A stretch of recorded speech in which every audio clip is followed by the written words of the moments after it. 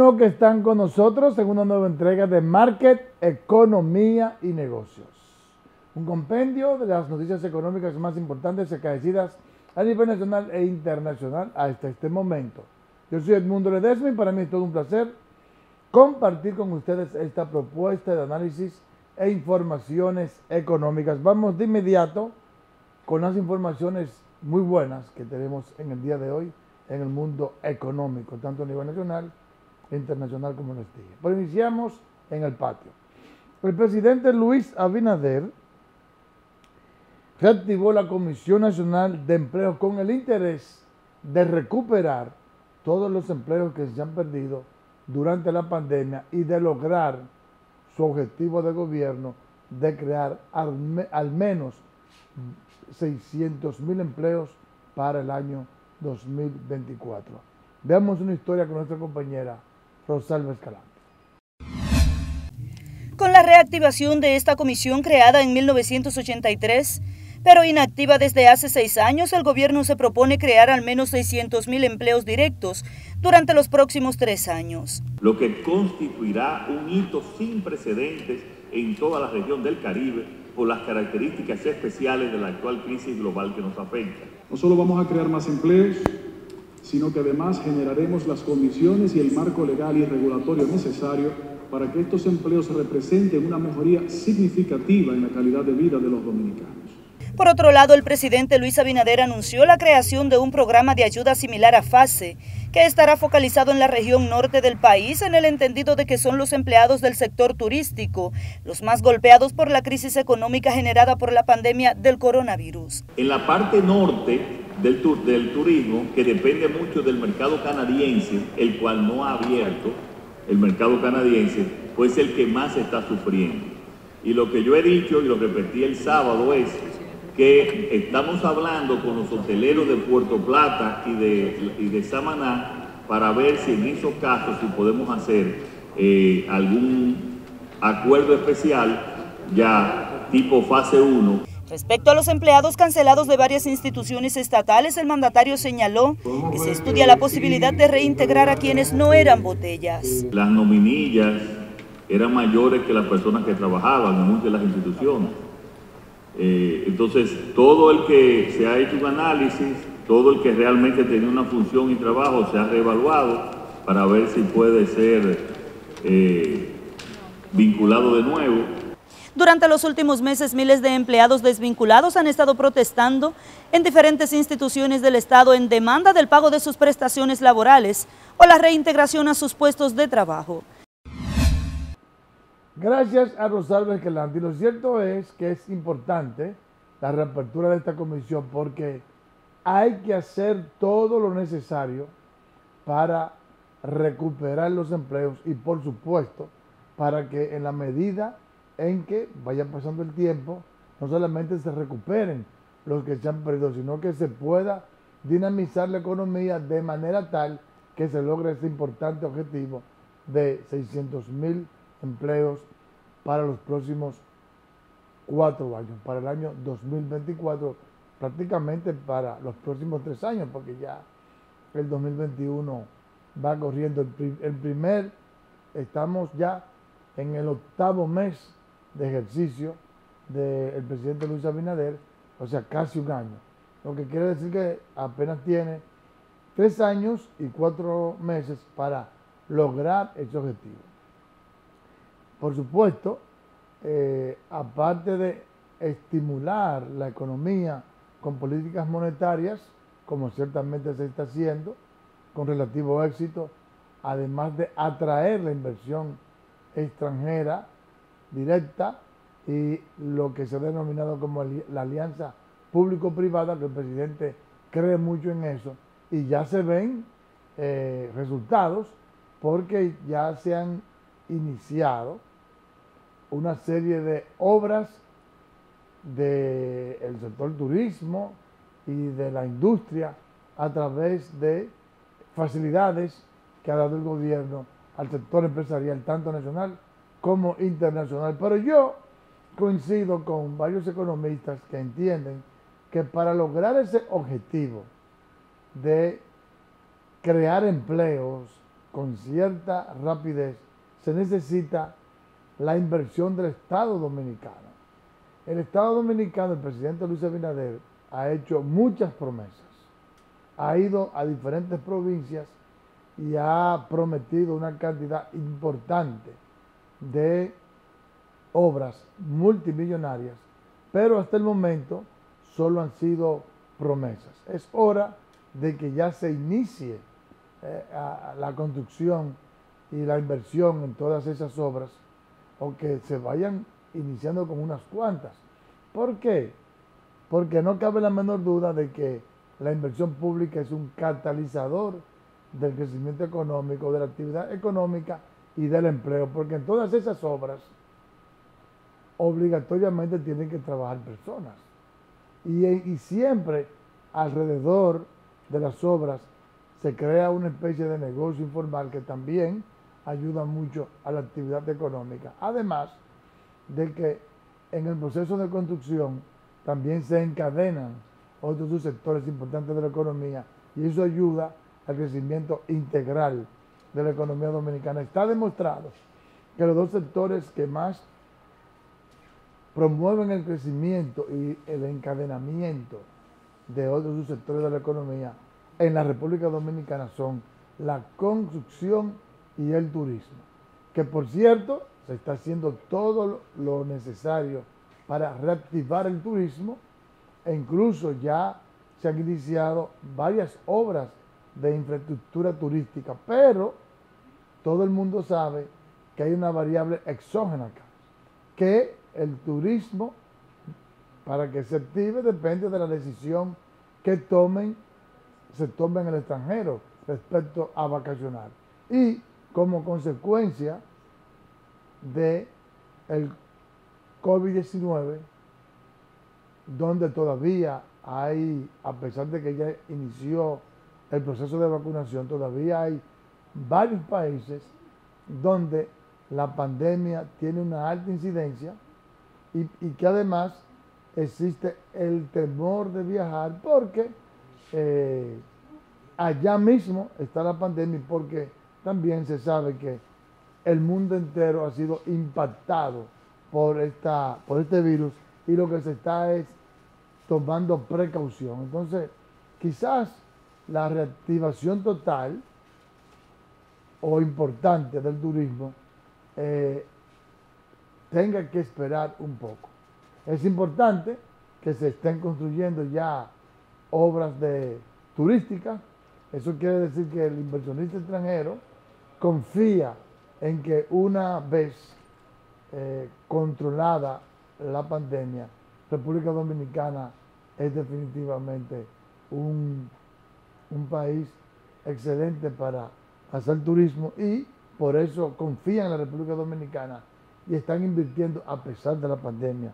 Y eso es importante. Pero no cabe duda de que en la construcción tenemos uno, el sector ahora mismo más importante para activar la economía. Que por cierto, eh, eh, hay que tomar en cuenta no solamente a las grandes obras de infraestructura, sino que también es importante para crear el empleo y para ser, digamos, más participativo, más democrático, tomar en cuenta a las MIPIMES de la construcción también, que hay por ahí eh, unas cuantas asociaciones que tienen que ver con la construcción en áreas de pequeñas y medianas empresas, que entienden que quizás no se le está dando las facilidades ni la cobertura adecuada en el Estado a nivel de financiamiento y a nivel de oportunidades para que ellos puedan participar del pastel, del pastel del Estado dominicano y poder entonces ellos también beneficiarse y también eh, ser parte de ese proceso de crecimiento integral que necesita la República Dominicana. Cambiando de tema, Participación Ciudadana respaldó las investigaciones que hace el Ministerio Público en contra del ex jefe de la escolta del presidente de la República, el señor Adán Cáceres, más otros cuatro acusados de actos de corrupción. Eh, eh, entiende Participación Ciudadana que con una persecución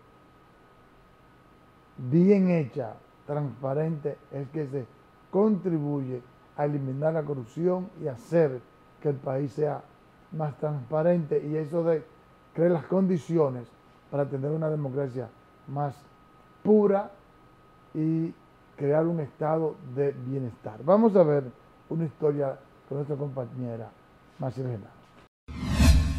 La coordinadora de participación ciudadana, Lady Blanco García, aplaudió los procesos de persecución a la corrupción administrativa que lleva a cabo el Ministerio Público. Los miembros de la sociedad civil respaldaron las investigaciones que se realizan en contra del ex jefe de seguridad del exmandatario Danilo Medina y otras cuatro personas ligados a actos de corrupción. Nosotros entendemos de participación que es momento y a través de lo que está haciendo el Ministerio Público, de seguir con esa persecución de la corrupción administrativa y, llegar hasta una sociedad más justa y transparente, que eso es lo que realmente anhelamos todos los dominicanos. Estamos cansados y ya como estamos cansados y la sociedad ha despertado, no importa el partido que esté, lo correcto es perseguir la corrupción administrativa. Aseguraron que esta práctica que involucra a altos mandos policiales y militares era conocida en el país, sin embargo no se le había dado el carácter judicial. Es de público conocimiento en este país que esas prácticas se vienen realizando de, desde hace tantos años que no podemos ponerle un límite para atrás y que han ido creciendo han ido creciendo en la medida en que la impunidad se ha ido haciendo una regla en la sociedad dominicana. Expresaron que la situación llama a un despertar de la ciudadanía respecto a la corrupción administrativa que desde hace muchos años impera en el país.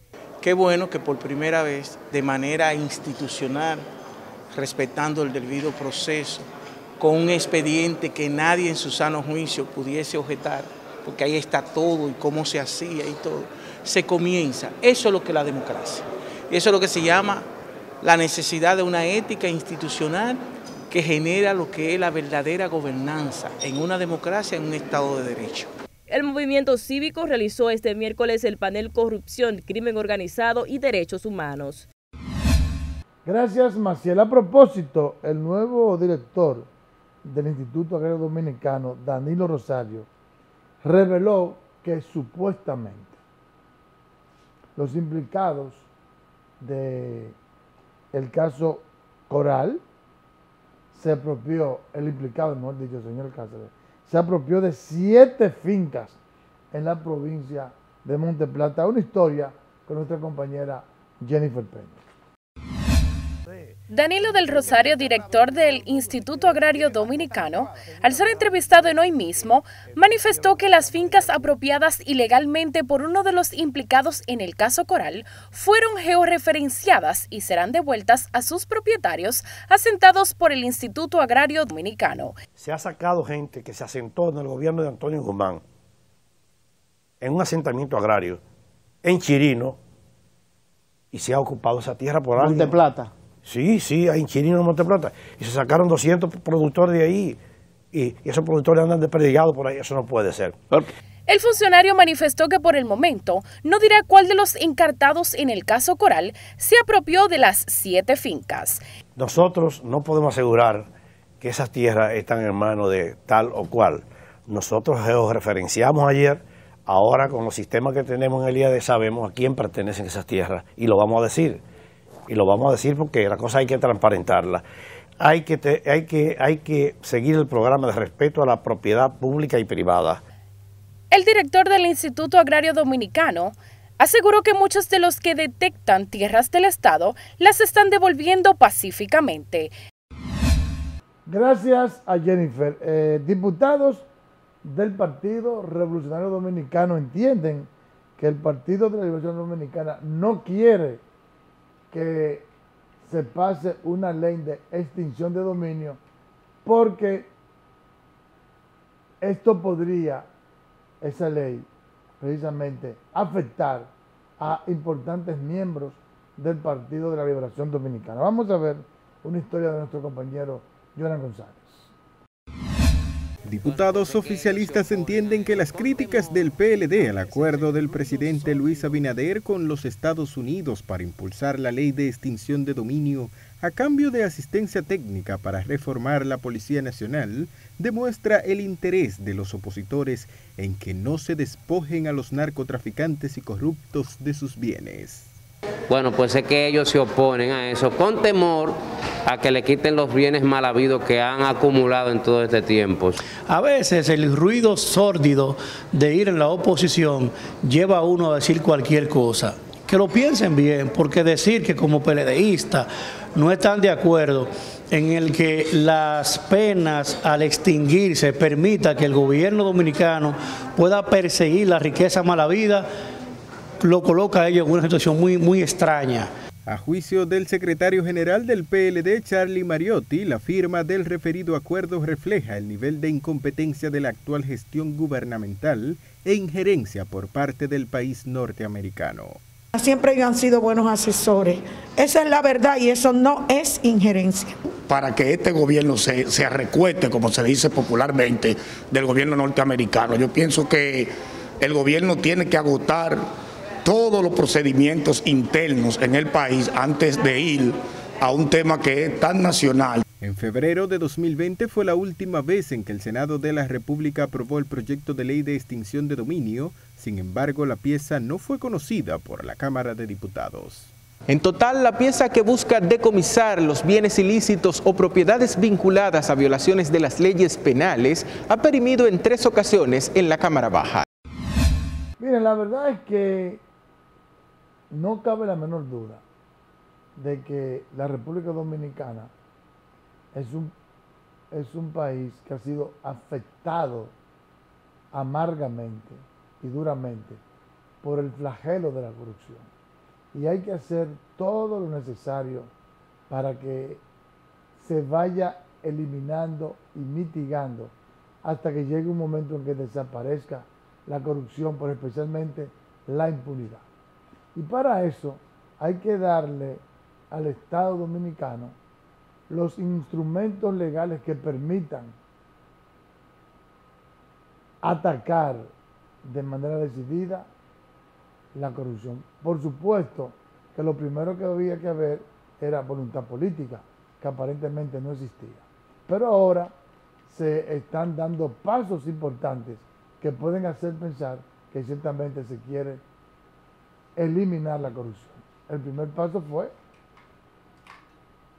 la designación de la doctora Miriam Germán y ahora con la nueva Cámara de Cuentas que también ha habido como cierta despolitización y además con personas que tienen el perfil adecuado. Entonces, ya está el personal y las personas con cierta libertad para hacer su trabajo sin que la mano política eh, impida que se hagan las auditorías, que se hagan las investigaciones, que se creen eh, las pruebas, los expedientes suficientes para poder castigar a través de una adecuada documentación a quien cometa dolo contra el erario. Pero también esta ley de extinción de dominio es un instrumento importante que coadyuva a que las pesquisas y la posibilidad de determinar cuando una persona comete actos de corrupción y también de, someterlo, ¿eh? Eh, eh, ayuda bastante esta ley. Es importante es importante que Estados Unidos, a pesar de que algunos eh, han considerado que hay un nivel de injerencia en esto, pero es importante que Estados Unidos esté involucrado de alguna manera con el Estado dominicano en tres temas que son fundamentales para ser precisamente más transparente la República Dominicana, para que haya un Estado de, digamos, de bienestar, de tranquilidad social y que se creen las condiciones para que tengamos un verdadero Estado social, democrático y de derecho, el hecho de que Estados Unidos está ayudando incluso con recursos. Recuerden que le donó 6.6 millones de dólares al, al, Estado Dominicano para tres temas. Uno para procurar mejorar y eliminar la corrupción y la impunidad. El otro para el tema de la reforma de la policía, que es sumamente importante. Y el tercero para que sea aprobada la ley de extinción de dominios. Esas son tres eh, situaciones que definitivamente hay que resolver en la República Dominicana. Si tú tienes una policía totalmente divorciada de lo que debería ser su razón de ser, si tú tienes una policía corrupta, vinculada al narcotráfico, vinculada al lavado de activos, vinculada a todo tipo de actos delictivos, solamente hay que recordar lo que dijo Jenny Berenice Reynoso en una ocasión cuando era la fiscal del Distrito Nacional, en el 90% de los desmantelamientos que se le hacen a red delictivas hay policías y militares involucrados. Bueno, en estos días agarraron un policía como con 5 o 6 kilos. Lo, atrapó la DNCD. Pero, además, en la propia DNCD y en la Policía Nacional y en la Fuerza Armada, usted ve personas que llegan al rango de capitán, de mayor, coronel, general, etcétera, etcétera. Y usted ve que tiene, que, que tiene una riqueza impresionante. Bueno, como se le acusa precisamente al señor Cáceres, de haber manejado en los últimos 10 años unos 3 mil millones de pesos. Y otros manejan, miembros de la Policía Nacional de las Fuerzas Armadas, manejan sumas similares, parecidas, algunos más, algunos menos, pero el caso es que no se justifica que una persona que gane 65 mil pesos, 100 mil pesos, 120 mil pesos, pueda presentar tanta eh, pomposidad económica. Eso definitivamente porque hay cosas que no se están haciendo adecuadamente. Y, reitero, para lograr que, así como ellos presentan eh, riquezas exuberantes, pero en contrapartida, en la otra cara de la moneda, entonces vemos una cantidad impresionante de dominicanos que viven en la extrema pobreza, en la extrema indigencia. Mientras hay políticos, militares, policías y empresarios que como consecuencia de la corrupción y de privilegios irritantes, que son tan irritantes, esos privilegios, que se pueden catalogar también como corrupción. Lo único que es es una corrupción legalizada. Legalizada. Hay unos subsidios por ahí que si usted lo verifica se da cuenta que es corrupción. Hay un manejo ahí con el combustible de unas empresas que usted tiene que decir que es una corrupción legalizada. Si usted ve ciertos contratos que hay en, el proceso de capitalización, por ejemplo, en la energía eléctrica, corrupción legalizada. Si usted verifica la ley 87-01 de Seguridad Social, esa es una corrupción legalizada. Óptica. Porque tiene que ser considerado como una perversidad y un acto de corrupción que cierto sector esté administrando las ARS y, las AFP y ya usted sabe de por sí que todo el mundo va a recibir una pensión de miseria. Mientras ellos se ganan todos los años miles de millones de pesos. lo mismo las ARS.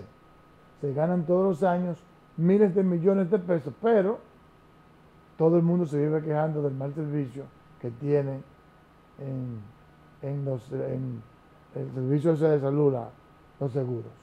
Entonces, todas esas cosas, todas, todas esas eh, acciones de corrupción delictivas, todas esas leyes leoninas, y yo diría ladroninas, hay que modificarlas.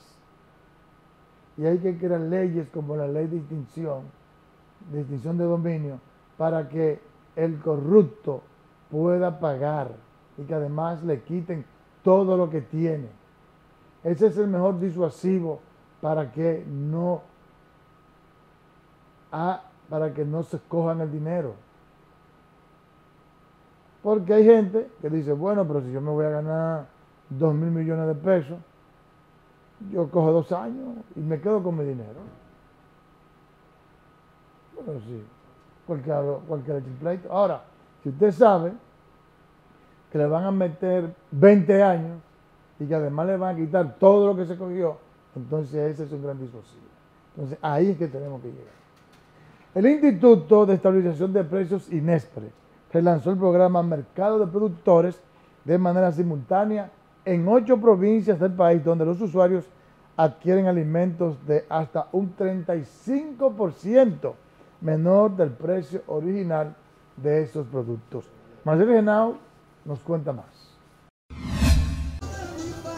El director del Instituto de Estabilización de Precios, Inespre, Iván Hernández, dejó reaperturado el mercado de productores, el cual estuvo en receso por motivo de la pandemia. Hernández expresó que esta venta de productos a bajo precio tiene un impacto de hasta un 35% menos del costo original. Por el ahorro de la cadena de intermediación, como le dije, que es de una manera directa, el ahorro anda por un 35%, hemos podido calcular en la mayoría de los productos. El relanzamiento que se realizó en Herrera y de manera simultánea en otros puntos del país fue bien acogido por varios de los alcaldes de la capital que lo calificaron como oportuno en momentos en que la canasta familiar se vende a alto costo. Esto abarata canasta en más de un 30%. Y aquí ya nosotros hemos hecho operativo en todo el territorio del municipio. Y hemos podido palpar cómo mejora la condición y cómo la gente que cae arriba. Ya nosotros el martes estará en Perobrán este agromercado y gracias a Dios que tenemos y podemos ver un buen cambio para nuestro país. Las ventas se realizarán todos los sábados en los locales de Inespre ubicados en Baní, San Juan de la Maguana, Azua, Barahona, San Pedro de Macorís y Herrera, mientras que los miércoles operará en Santiago y El Ceibo y próximamente se integrarán otras localidades como Cotuí y La Vega. Algunos de los artículos de primera necesidad que se venden a bajo precio son arroz, habichuela, cebolla, ajo, plátanos, frutas, vegetales y otros productos. Gracias, Maciel. Los gobiernos de Haití y República Dominicana suspendieron la reunión programada para este martes en Dajabón, donde tenían previsto tratar el conflicto generado por la construcción de un canal de riego en territorio haitiano para extraer agua de la fuente binacional del río Masacre. La convocatoria quedó sin efecto luego que diplomáticos y altas instancias de ambos países iniciaran la búsqueda de una solución al conflicto, según informó la gobernación de Dajabón.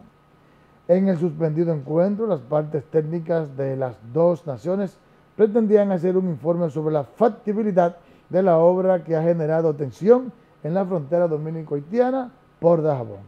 Sobre el diferendo, el presidente Luis Abinader había señalado en la mañana de este lunes que se buscaría una solución que no perjudique a ninguna de las dos naciones. Hora de escuchar el diccionario económico. Propaganda. Comunicación que se utiliza para promover una causa o un partido político. La información que se puede difundir mediante el periódico, televisión o radio o incluso a través del Internet suele ser parcial o incluso falsa.